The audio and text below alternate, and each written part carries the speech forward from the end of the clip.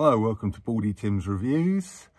Now, I'm back in the Citroen Berlingo and I had a request from one of my viewers on how exactly to take out the rear seats.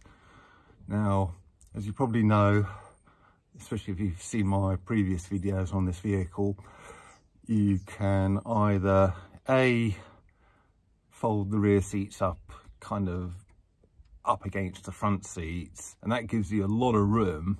But for maximum room the beauty of these vehicles is that you can actually take the rear seats out all together which is fairly simple but it's a bit of a faff and there's a couple of things you need to know. So hopefully I can explain that in this video. So without any further ado let's get on and see if we can get these rear seats I'm currently sitting on out. So a couple of things to do before getting the rear seats out here is we'll move the front seats forward a bit because before you get the rear seats out you actually have to sort of flip them all forward and it'll just give you a bit more room if you pull the front seats up and out the way. So I'll do that first of all. So obviously you've got your uh, bar there to pull up and pull that forward just a little bit. And the second thing we'll do is we'll get rid of the parcel shelf. So it just pushes up over like that and then lifts, well, pull it back and then it will lift out.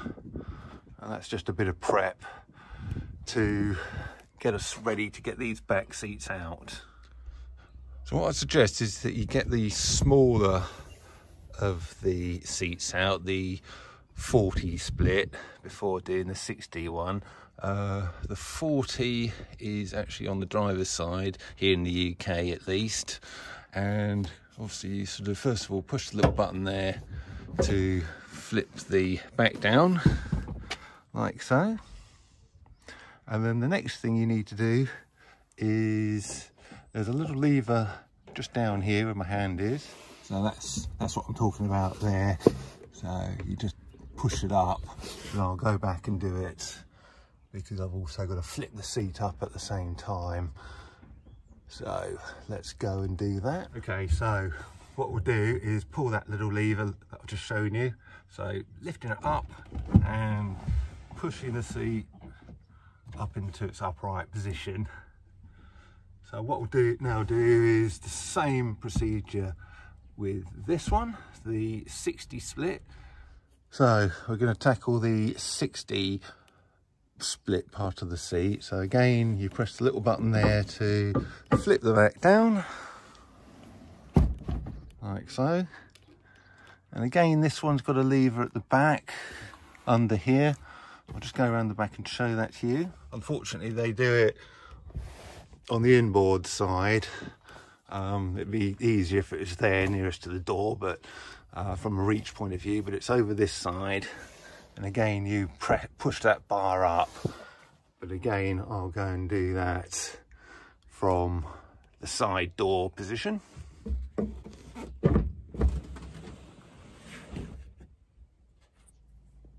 So now we have both parts of the seat in their folded up position.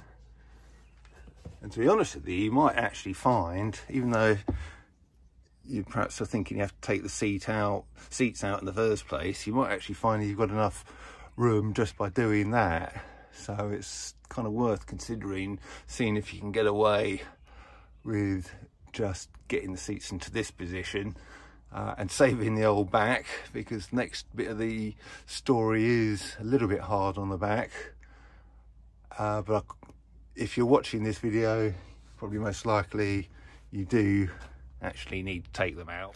Because as you can see as soon as we, as we take them out instead of only having room from the back up to there you're going to have it all the way up to there the back of the front seat which is you know a good 18 inches more. So what we're going to do is get these out. And again I'm going to start with the far one, the little one. And it's that's also the easiest one because it's the smallest, lightest one. So we're now ready to get the little one out. So what we do is you have to kind of do a lifting motion, but if you try and lift it when it's fully back like that, it won't come out. So you've got to sort of get it back to a certain stage where it will suddenly release. So what I do is just kind of pull it up and lean it back until you feel it release and there it goes. So you're now ready just to pull it out like so. So you're going to start off with it in its fully upright position, but you can't just pull it up and out like that. You've got to start leaning it back and it's about that position where it releases, but it's not really kind of clear what the position is. So I'm pull, exerting upwards pressure, pulling up, leaning back, leaning back, oh, and there it is. And that, that is the easiest way to get it out. It's time to tackle the big one here, and it's exactly the same procedure, but because it's quite a lot bigger and heavier uh, than the little one, it's more awkward. And if you can get two people to do it uh, that's probably going to be your best option. Just one on either end. At least you've got the two sliding doors either either way and one person can kind of get on either end of it. Fortunately uh, I'm on my own doing this luckily I'm quite big and strong so I can do this on my own.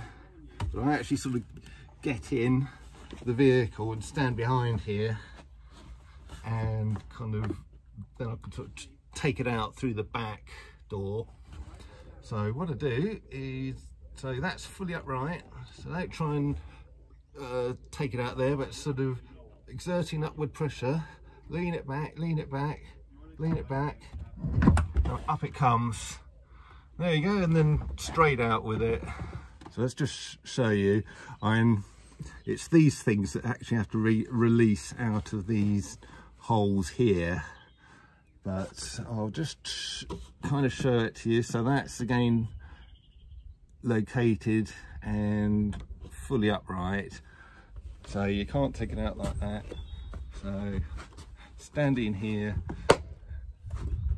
standing here pulling upwards and leaning back at the same time until you get to that release point and out it comes. And then once you've got the thing out of the holes in the floor as it were, you can either take it out uh, of the side door or if it's easier for you and you've got not, obviously nothing in the back of the vehicle straight out through the back door there whatever's easiest for you really. So what I'll do now is I'll just show you how to put them back into place.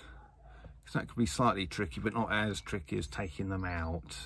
So when you put in the seats back in what you have to do is actually locate that bit into the hole here between these two circular bar things and it's quite tricky because there's three of them on the uh, 60 split part of the seat, the larger one.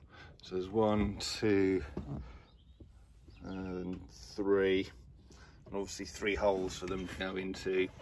So I will try and show you that. So let us see if we can drop this uh, seat back into place now. Again, it's going to be a lot easier if there's two of you to handle this thing. But what you do is offer it up into place and then you drop the kind of tongue bit if for want of a better word into the hole and then what you do is you sort of lean it back the seat back and then it will just drop into place. There it goes. So you kind of when you're dropping it into place just take that out again just to show you. When you're sort of dropping it into place it's fairly upright. And you have to make sure all three of them line up and go in. So these so that's oh there we go. And it will once you've got the the tongues lined up with the holes on all three points. It will then kind of just drop into place fairly easily. And if you have any difficulty you might just have to lift it out and try again but that is basically what you do. So just show you one more time. So coming in with it again two people would be a lot easier. Line up one two three kind of trying to show you that lined up. You can see that one just about to drop in there. That one is nearly in but not quite. But it's kind of lined up. So once you're at that point normally just a bit of wiggling around and in it drops.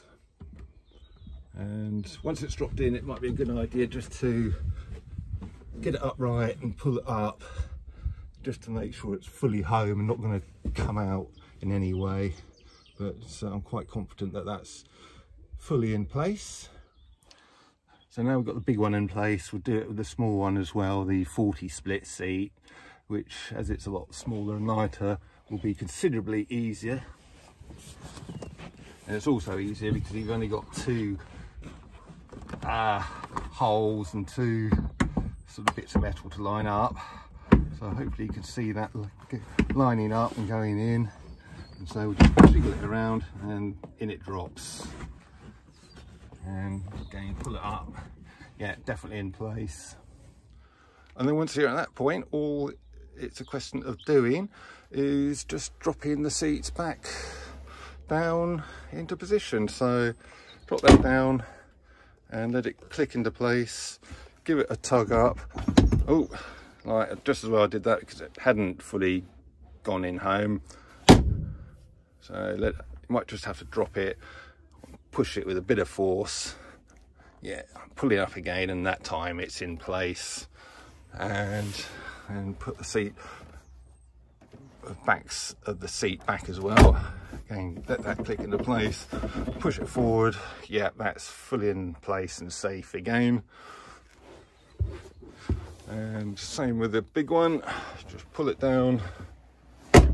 Let it click into place. Tug up just to make sure it's fully home. Pull that back.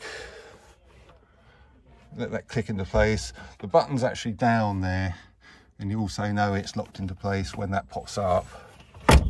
Like so. That's come up come up flush. And give it a push forward. Yeah fully home and you're now ready to use it as an estate car with the back seats again. So that was just a quick demo on how to get the back seats completely out. It's probably one of the slightly trickier operations on that you have to perform on this highly highly versatile vehicle but especially if you can get two of you it's a relatively quick simple and easy operation to both get them in and get them out certainly a lot easier than having to sort of fiddle around with nuts and bolts and spanners and all that kind of thing so it's just but there is a bit of a knack to it. Hopefully this video has shown that. So it's been Baldy Tim's Reviews.